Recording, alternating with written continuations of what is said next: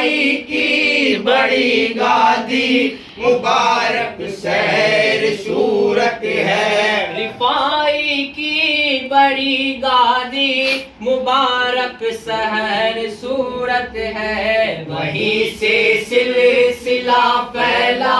वहीं से सिलसिला फैला सैयद अहमद रिफाई का मेरी आंखों